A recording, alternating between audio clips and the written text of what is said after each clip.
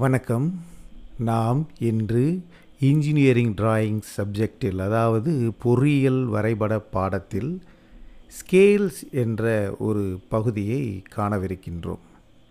Scales அளவுகள் அளவுகள் என்றால் ஒரு பொருளினுடைய தோற்றத்தை அல்லது ஒரு இயந்திர பாகத்தினுடைய தோற்றத்தை ஒரு வரைபடத்தாளில் வரைய வேண்டும் என்றால் அந்த பொருளினுடைய உண்மையான அளவின்படி அந்த வரைபடத்தாளில் நாம் வரைய முடியாது.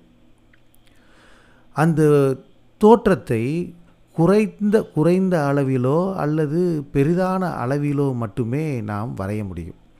அப்படி வரைவதற்கு ஒரு மெத்தடு ஒரு சிஸ்டத்தை ஏற்படுத்தியிருக்கிறார்கள். அந்த அது பிஐஎஸ் அதாவது பீரோ ஆஃப் இந்தியன் ஸ்டாண்டர்ட் அவர்கள் கட்டமைத்த அந்த விதியின்படியே நம்மால் ஒரு ஒரு பொருளினுடைய தோற்றத்தை அந்த வரைபடத்தாளில் வரைய முடியும். அப்படி வரைந்தால்தான் அதை தயாரிக்கக்கூடிய அல்லது உற்பத்தி செய்யக்கூடிய நபருக்கு விளங்கக்கூடியதாக இருக்கும். இந்த ஸ்கேல்ஸை பற்றி இந்த ஒரு காணொளி காட்சியில் நாம் காணவிருக்கின்றோம். அப்படி பார்க்கும் பொழுது நாம் ஏற்கனவே சொன்னபடி தான் ஒரு பாகத்தை வந்து ஒரு வரைபடத்தாளில் நாம் வரைகிறோம் அப்படின்னா ஆக்சுவல் சைஸுக்கு வரைய முடியாது அப்படின்றத சொல்லிட்டோம். ஏன் அப்படின்னா அதனுடைய தோற்றமானது பெரிதாக இருக்கும் பொழுது அந்த டிராயிங் சீட்டுக்குள் நாம் அதை பொரு பொருந்துமாறு வரைய முடியாது. அல்லது ஒரு சில பொருளை பார்க்கும்போது நமக்கு சிறிதாக இருக்கும். அப்போ மிகச் சிறியதாக இருக்கக்கூடிய அந்த பொருளுடைய தோற்றத்தை நாம் வரைஞ்சோம் அப்படின்னா அந்த சீட்டில் வரைஞ்சோம் அப்படின்னா அது எஃபெக்டிவாக நமக்கு வந்து தெளிவாக தெரியாத ஒரு அளவிற்கு தான் அந்த வரைபடமானது இருக்கும். ஒரு எக்ஸாம்பிளுக்கு நாம் பா பார்க்குறோம். அதாவது ஒரு பெரிய பஸ்ஸு ஒரு பஸ்ஸை வந்து நம்ம வரைபடத்தாளில் வரையணும்னு நினைக்கிறோன்னு வச்சுக்கோங்களேன். ஒரு பஸ்ஸினுடைய நீளத்தை பார்த்தீங்க அப்படின்னா லாங்காக இருக்கும். இப்போ இந்த இந்த இந்த பஸ்ஸு இருக்குது. இந்த பஸ்ஸினுடைய தோற்றம் வந்து நம்ம பார்க்குறோம். இதனுடைய நீளம் மொத்தம் நீளம் அப்படின்னு பார்க்கும்பொழுது பதினா பதினோராயிரத்தி தொள்ளாயிரத்தி எண்பத்தஞ்சு எம்எம்மில் வந்து இருக்குது. இவ்வளவு நீளத்தில் ஒரு டிராயிங் சீட்டில் நாம் வரையணும்னு நினைக்க முடியுமா? அப்போ ஒரிஜினல் சைஸில் நம்மளால் வரைய முடியுமா? முடியாது. அதே மாதிரி ஒரு சின்ன காம்பனண்ட் அதாவது என்ன அப்படின்னா ரிஸ்ட்டு வாட்சில் உள்ள மெக்கானிசம் இந்த இப்போ இந்த இதில் நீங்கள் பார்க்குறீங்க இந்த ரிஸ்ட்டு வாட்சில் நீங்கள் பார்க்குறீங்க இந்த ரிஸ்ட்டு வாட்சில் உள்ள மெக்கானிசத்தெல்லாம் பார்த்தீங்க அப்படின்னா சின்ன சின்ன கியர்களாக இருக்கும். ரொம்ப ம ரெண்டு எம்எம் மூணு எம்எம் திக்னஸில் டயால் எல்லாம் கியர்கள் வந்து நிறையா இருக்கும். இப்போ இந்த மாதிரி சைஸில் உள்ள ஒரு பொருளை நாம் வந்து வரைபடத்தாளில் வரைகிறோன்னு நினச்சிக்கோங்களேன். இப்போ நீங்கள் இந்த படத்தை கூட நீங்கள் பாருங்கள் இந்த படத்தை பார்க்கும் பொழுது ஒரு மெக்கானிக் வாட்ச் மெக்கானிக் வந்து அந்த வாட்சை சர்வீஸ் பண்ணும் பொழுது அவரால் வெறும் கண்ணால் பார்க்க முடியாத முடியாமல் அதை ஒரு லென்ஸு மூலமாக தான் பார்த்து அவர் வந்து சர்வீஸ் பண்ணுறாரு அப்போ அது எவ்வளவு சிறியதாக இருக்கும் என்று நினைத்து பாருங்கள். இப்படி இருக்கக்கூடிய ஒரு பாகங்களை நாம் ஒரு டிராயிங் சீட்டில் வந்து நம்ம வரைஞ்சோம். அதே அளவுக்கு ஒரிஜினல் அளவுக்கு வரைஞ்சோம் அப்படின்னா அதை தயாரிக்கக்கூடிய அந்த நபருக்கு புரியும்படியாக இருக்குமா? இருக்காது. இப்போ இந்த இந்த ஒரு படத்தையும் நீங்கள் சேர்த்து பாருங்கள் இவர் வச்சிருக்கிறது வந்து வாட்சினுடைய டயல் இந்த டயலை வந்து ஒரு டிராயிங் ஷீட்டில் வரையும் பொழுது அதை இதை காட்டிலும் ஒரு இருபது மடங்கு பெருசாக தான் வந்து என்ன செஞ்சுருக்காரு? இந்த டிராயிங் ஷீட்டில் வரைஞ்சிருக்காரு. நீங்கள் இன்னும் நல்லா கூர்ந்து பார்த்தோம் அப்படின்னா இந்த இந்த இடத்த மட்டும் வேணால் பார்த்துக்கிடுவோம். இந்த இடம் வந்து எவ்வளவு இருக்குது? ஆக்சுவலாக வந்து ஒரிஜினல் சைஸ் வந்து பாயிண்ட் த்ரீ தான் இருக்குது. பாயிண்ட் த்ரீ எம்எம் உள்ள ஒரு ஒரு பாகத்தை வந்து நாம் டிராயிங் ஷீட்டில் வரைஞ்சி காமிக்க முடியுமா? இப்போ இதெல்லாம் இதனுடைய திக்னஸ்லாம் வந்து எவ்வளவு? ரெண்டு எம்எம் தான். அப்போ ரெண்டு எம்எம் ரெண்டு எம்எம் உள்ளதை வந்து ரெ அதே ஒரிஜினல் சைஸுக்கு ரெண்டு எம்எம் வந்து நம்ம அந்த டிராயிங் ஷீட்டில் வரைஞ்சோம்னா நமக்கு தெளிவாக புரியும்படி அந்த டிராயிங் ஆனது நமக்கு இருக்காது. இப்படி பெரிதாக உள்ள பொருளை டிராயிங் ஷீட்டில் வரைய முடியாதுன்னு சொல்லிட்டோம். சிறிதாக உள்ள பொருளை புரியும்படியாக அந்த டிராயிங் ஷீட்டில் வரைய முடியாதுன்னு சொல்லிட்டோம்.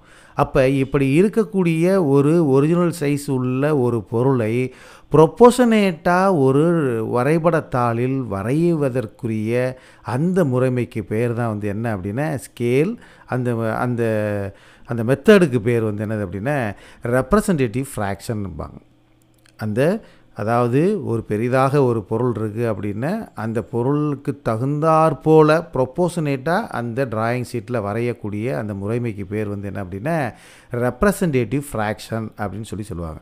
அப்படின்னா என்ன அப்படின்னா இந்த ratio of the length in the drawing to its corresponding length of the length of on object when both the lens are in same unit it's called the representative fraction.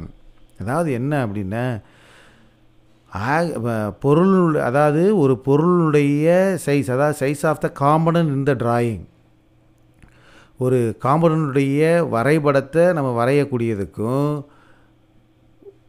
actual size of the component ஒரு பாகத்தினுடைய உண்மையான அளவிற்கும் உள்ள விகிதம் தான் என்னது? Representative fraction அப்படின்னு சொல்லி சொல்லுவாங்க. அப்போ ஆக்சுவல் சைஸில் இருக்கக்கூடியதுக்கும் அந்த டிராயிங்கில் வரையக்கூடிய லென்த்துக்கும் கிட்டத்தட்ட சேம் யூனிட்டாக தான் வந்து என்ன செய்யும்? இருக்கும். இப்போ ஒரு எக்ஸாம்பிளுக்கு நீங்கள் பார்க்குறீங்க when a one centimetre long line in your drawing represents one metre length of the object அப்போ representative fraction is equal to size of the component இந்த டிராயிங் வந்து எவ்வளவு? ஒரு சென்டிமீட்டர் ஆக்சுவல் காமனன்ட் அப்படின்னா actual size of the component எவ்வளவு? ஒரு metre அப்போ இதை வந்து நம்ம கால்குலேட் பண்ணும் பொழுது ஒரு சென்டிமீட்டர் இன்ட்டு இந்த மீட்டரை வந்து என்ன செய்கிறோம் அப்படின்னா சென்டிமீட்டராக கன்வெர்ட் பண்ணுறோம் சென்டிமீட்டராக கன்வெர்ட் பண்ணும் பொழுது அது வந்து எவ்வளவு அப்படின்னா ஒன் பை ஹண்ட்ரட். இதுதான் வந்து என்னதுன்னா ரெப்ரசன்டேட்டிவ் ஃப்ராக்ஷன் அப்போ நூறு சென்டிமீட்டர் அளவுள்ள உண்மையான தோற்றத்தை ஒரு சென்டிமீட்டரில் வந்து நமக்கு நாம் என்ன செய்கிறோம்னா வரைபடத்தாளில் வரைந்து காண்பிக்கின்றோம். இதுதான் வந்து என்னது அப்படின்னா ரெப்ரசன்டேட்டிவ் ஃப்ராக்ஷன் அப்போ இந்த ஸ்கேலை வந்து ஒரு மூணு விதமாக நாம் வந்து பிரிக்கலாம் வரைவோம். ஒன்று வந்து ஃபுல் ஸ்கேல் ஃபுல் ஸ்கேல் அப்படின்னு பார்க்கும் பொழுது அதாவது ஒரு பொருளினுடைய தோற்றத்தை அப்படியே அதனுடைய அளவின்படி அப்படியே வரைந்தோம் என்றால் அது வந்து ஃபுல் ஸ்கேல் அப்படின்னு சொல்லுவாங்க. ஒன்று இஸ்ட்டு ஒன்று அப்படின்ற மாதிரி சொல்லுவாங்க. இதையே வந்து ஒரு பொருளுடைய தோற்றத்தை வந்து குறைந்த அளவில் வரைந்தோம் என்றால் அதற்கு பேர் ரிடக்ஷன் ஸ்கேல் அப்படின்னு சொல்லி சொல்லுவாங்க. ரிடக்ஷன் ஸ்கேல் அல்லது ரெடியூஸ்டு ஸ்கேல்னு கூட நாம் சொல்லலாம். அப்போ அதனுடைய ஆர்எஃப் வந்து என்ன இருக்கும் அப்படின்னா ஒன்று ஒன்று பை ரெண்டுன்னு இருக்கலாம். அதாவது ஒன்று இஸ்ட்டு ரெண்டு அல்லது ஒன்று இஸ்ட்டு அஞ்சு. அல்லது ஒன்று இஸ்ட்டு இருபது.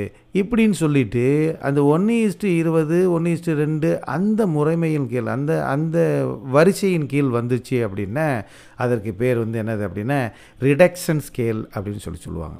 அதாவது ஆப்ஜெக்டை காட்டிலும் சிறுசாக நாம் அந்த அதாவது சிறுசா மீன்ஸ் என்னது? குறைந்த அளவில் நாம் வரையக்கூடியதாக இருக்கும். அதற்கு ரிடக்ஷன் ஸ்கேல் அதே ஒரு பொருளை வந்து பெரிதுபடுத்தி வரைந்தோம் என்றால் அதற்கு பேர் வந்து என்னது அப்படின்னா என்லார்ஜ்டு ஸ்கேல் அப்படின்னு சொல்லி சொல்லுவாங்க. என்லார்ஜ்டு ஸ்கேல்னு சொல்லுவாங்க.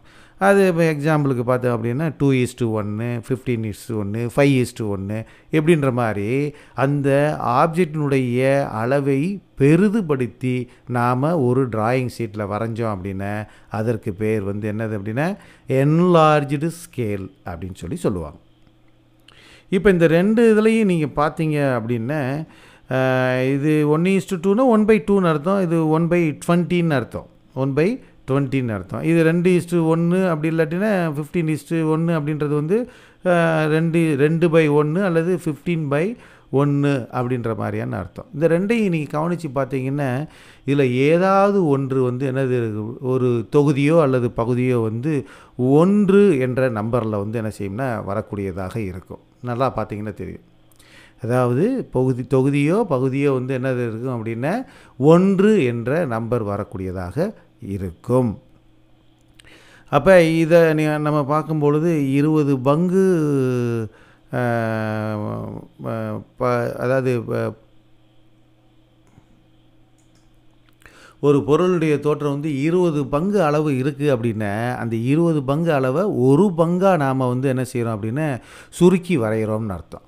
அதே தான் இதை நம்ம பார்க்கும் பொழுது இது ஒரிஜினல் தோற்றம் அதாவது அந்த பொருளுடைய ஒரிஜினல் அளவு வந்து ஒரு பங்காக இருக்கக்கூடியதை பதினைந்து பங்காக பெரிதுபடுத்தி வரைந்தால் அது வந்து என்னது அப்படின்னா நமக்கு என்லார்ஜ்டு ஸ்கேல் அப்படின்னு சொல்லி சொல்கிறோம் ஓரளவுக்கு இந்த ரிடக்ஷன் ஸ்கேலோ அல்லது என்லார்ஜ்டு ஸ்கேலோ வந்து பிஐஎஸ் ஓரளவுக்கு இதை வந்து ரெக்கமெண்ட் பண்ணுறது வந்து என்ன வரிசையில் ரெக்கமெண்ட் பண்ணுறாங்க அப்படின்னா இது ஒன்று இஸ்ட்டு டூ அந்த சீரீஸில் பார்க்கும்போது ஒன்று இஸ்ட்டு இருபது ஒன்று இஸ்ட்டு இரநூறு ஒன்று இஸ்ட்டு ரெண்டாயிரம் அப்படின்ற சீரீஸில் வரையலாம். அப்படி இல்லை அப்படின்னா ஒன்று இஸ்ட்டு அஞ்சு ஒன்று இஸ்ட்டு ஐம்பது ஒன்று இஸ்ட்டு ஐநூறு ஒன்று இஸ்ட்டு ஐயாயிரம்ன்ற சீரீஸில் வரையலாம். அப்படி இல்லாட்டினா ஒன்று இஸ்ட்டு பத்து ஒன்று இஸ்ட்டு நூறு ஒன்று இஸ்ட்டு ஆயிரம் ஒன்று இஸ்ட்டு பத்தாயிரம் அப்படின்ற ரிடக்ஷன் ஸ்கேலில் நாம் வரையலாம். அல்லது என்லார்ஜ்டு ஸ்கேலை அப்படின்னு பார்க்கும் பொழுது ஐம்பது இஸ்ட்டு ஒன்று அஞ்சு இஸ்ட்டு ஒன்று இருபது இஸ்ட்டு ஒன்று ரெண்டு இஸ்ட்டு ஒன்று பத்து இஸ்ட்டு ஒன்று அப்படின்ற என்லார்ஜ்டு ஸ்கேலில் வந்து என்ன செய்யலாம்னா வரையலாம்னு ரெக்கமெண்ட் பண்ணுறாங்க அதனால் இதில் தான் வரையணும்னு இல்லை. இதுக்கு அடுத்த நிலைகளில் கூட நாம் என்ன செய்யலாம் அப்படின்னா வரையலாம். ஆனால் ரெக்கமெண்ட் பண்ணக்கூடிய அதாவது பிஐஎஸ் ரெக்கமெண்ட் பண்ணக்கூடிய ஒரு ஸ்கேல்ன்றது இதுவாகத்தான் இருக்கணும். ஃபுல் ஸ்கேல் ஆட்டோமேட்டிக்காக நமக்கு வந்து ஒன்று இஸ்டு ஒன்று என்ற விகிதத்தில் நமக்கு வந்துவிடும். இந்த ஸ்கேலை பற்றி நம்ம தெரிகிறதுக்கு முன்னாடி ஒரு சில பேசிக்ஸ் வந்து நமக்கு வந்து கட்டாயம் தெரியணும் இந்த அடிப்படை அழகுகளை வந்து என்ன செய்யணும் அப்படின்னா யூனிட்ஸை வந்து தெரிஞ்சுக்கிறணும். இப்போ நீங்கள் இதில் பார்த்தீங்க அப்படின்னா நாம் சின்ன படிப்புகளில் குறை அதாவது ஆறாம் கிளாஸ் ஏழாம் கிளாஸ் படிக்கும்போது படிக்கக்கூடியது தான். பத்து மில்லி மீட்டர் ஒரு சென்டிமீட்டர் ஒரு ரைமிங் மாதிரி சொல்லுவாங்க நீங்கள் பார்த்தீங்கன்னா பத்து சென்டிமீட்டர்ஸ் ஒரு டெசிமீட்டர் பத்து டெசிமீட்டர் ஒரு மீட்டர் பத்து மீட்டர்ஸ் ஒரு டெக்காமீட்டர் பத்து டெக்காமீட்டர்ஸ் ஒரு ஹெக்டாமீட்டர் பத்து ஹெக்டாமீட்டர்ஸ் ஒரு கிலோமீட்டர் இப்படின்ற மாதிரியான இந்த பேசிக் அழகுகளை வந்து என்ன செய்யணும் அப்படின்னா கொஞ்சம் நாம் மனசில் வைத்து கொள்ள வேண்டும். நாம் ஒரு ஸ்கேலை வடிவமைக்கும் போது ஒரு சில அலகுகள் வந்து அடிக்கடி யூஸ் பண்ணுற மாதிரி இருக்கும். அப்படி பார்க்கும்போது நூறு சென்டிமீட்டர்ஸ் ஒரு மீட்டர் அப்படின்றத கொஞ்சம் மைண்டில் வச்சுக்கிறணும். அப்போ இதில் நீங்கள் பார்த்தீங்க அப்படின்னா பத்து சென்டிமீட்டர் ஒன்று இருக்குது பத்து டெசிமீட்டர் ஒன்று இருக்குது. அப்போ பத்து இன்ட்டு பத்து நூறு. அப்போ நூறு சென்டிமீட்டர் அளவு தான் வந்து என்னதுன்னா ஒரு மீட்டர் அதே சமயம் வந்து நம்ம யூஸ் பண்ணுறது பார்த்தோம் அப்படின்னா கிலோமீட்டருக்கு எத்தனை மீட்டர் அப்படின்றத தெரிஞ்சுக்கிறணும்.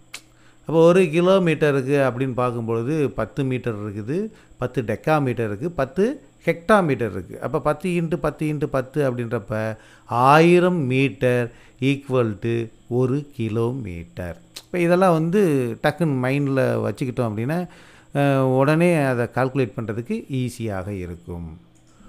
ஒரு ஸ்கேலை கட்டமைக்கும் பொழுது அதில் நமக்கு தேவையான தகவல்கள் தகவல்களை வந்து என்ன செய்யணும்னா அதில் தெளிவுபடுத்தி பதிவுபடுத்தி நாம் காண்பிக்க வேண்டும். அப்படி பார்க்கும் பொழுது RF of the scale RF எவ்வளவு ரெப்ரசன்டேட்டிவ் ஃப்ராக்ஷன்றது வந்து எவ்வளவு அந்த ரேஷியோ எவ்வளவு அப்படின்றது நமக்கு தெரிய வேண்டும். அடுத்தது வந்து என்ன அப்படின்னா units which it must represent example represent example வந்து என்னது அப்படின்னா எம்எம் சி சென்டிமீட்டர் அதாவது மில்லி மீட்டரு சென்டிமீட்டரு மீட்டரா அப்படின்றத குறிக்கணும். இல்லை எஃபிஎஸ் சிஸ்டம் அப்படின்னா பிரிட்டிஷ் அளவுலன்னா ஃபூட்டா இன்ச்சஸா அப்படின்றத வந்து அந்த யூனிட்டை வந்து என்ன செஞ்சுருக்கணும்னா அந்த ஸ்கேலில் ரெப்ரசன்ட் பண்ணியிருக்க வேண்டும். அடுத்ததாக maximum length it must show அப்போ ஒரு ஸ்கேலை கட்டமைக்கிறோம் அப்படின்னா அதில் அதிகபட்ச நீளம் எவ்வளவு நாம் அதில் அளக்க முடியும் அப்படின்றத வந்து என்ன செய்யணும்னா அதில் காண்பிக்க வேண்டும். அப்படி அதிகபட்ச நீளம் வந்து காமிக்கும் பொழுது அப்போ எவ்வளவு நீளத்தில் அந்த ஸ்கேலை வந்து நாம் வரையணும் அப்படின்றது தான் வந்து என்னது அப்படின்னா லென்த் ஆஃப் ஸ்கேல் எல்ஓஎஸ் அப்படின்னு சொல்லி சொல்லுவாங்க. இந்த லென்த் ஆஃப் ஸ்கேலுக்கு ஃபார்முலா வந்து என்ன அப்படின்னா RF into the maximum length to be measured in centimetre என்ன அழகோ அந்த அழகில் வந்து என்ன செய்யணும்னா வரணும். மேக்ஸிமம் நமக்கு சென்டிமீட்டரில் தான் நம்ம வந்து என்ன செய்வோம் அப்படின்னா படங்களை வரையக்கூடியதாக இருக்கும். அப்போ length of scale is equal to RF into ஆர்எஃப்னா representative fraction into the maximum length to be measured அடுத்ததாக வந்து என்ன இருக்கணும் அப்படின்னா ரெப்ரசன்டேட்டிவில் அந்த ரெப்ரசன்டேட்டிவ் ஃப்ராக்ஷன் ஆனது அதாவது பேரே வந்து என்னது? ரெப்ரசன்டேட்டிவ் ஃப்ராக்ஷன் தான். பின்னத்தில் தான் நாம் வந்து என்ன செய்யணும்னா அதை நம்ம தெரிவிக்க வேண்டும். டெசிமலில் தெரிவிச்சிடக்கூடாது பின்னத்தில் தான் வந்து நாம் தெரிவிக்க வேண்டும்.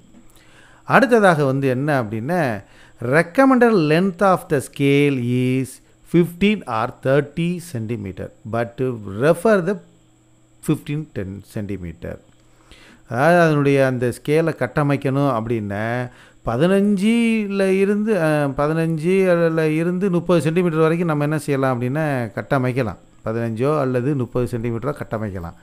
ஆனால் அவங்க வந்து ரெஃபர் பண்ணுறது வந்து என்ன அப்படின்னா ஓரளவுக்கு பதினஞ்சு சென்டிமீட்டருக்குள்ளே இருக்கிற மாதிரி இருந்துச்சுன்னா அது நன்றாக இருக்கும். இந்த ஸ்கேலில் பார்த்தீங்க அப்படின்னா பலவிதமான ஸ்கேல்கள் இருக்குது. இல்லை அதனுடைய வகைகள் அப்படின்னு சொல்லி பார்க்கும் பொழுது ப்ளைன் ஸ்கேல் அப்படின்னு சொல்லி ஒன்று இருக்குது டயகனல் ஸ்கேல் அப்படின்னு சொல்லி ஒன்று இருக்குது வெர்னியர் ஸ்கேல் அப்படின்னு சொல்லி இருக்குது கம்பேரேட்டிவ் ஸ்கேல் அப்படின்னு சொல்லி எப்படி நான்கு விதமான ஸ்கேல்களானது நாம் பயன்படுத்துகின்றோம். ஓகே நண்பர்களே நாம் இந்த ஸ்கேலில் என்ன அப்படின்றத நாம் இந்த இதில் பார்த்தோம் இந்த காணொளியில் பார்த்தோம். இதில் வந்து நம்ம அடுத்து ஒரு காணொளி காட்சியில் இதனுடைய தொடர்ச்சியானது அதாவது என்ன அப்படின்னா பிளைன் ஸ்கேல்னா என்ன அதனுடைய தொடர்ச்சியான டயகனல் ஸ்டேல் ஸ்கேல்னா என்ன அப்படின்றதெல்லாம் நாம் வரக்கூடிய காணொளி காட்சிகளில் நாம் பார்ப்போம். நன்றி.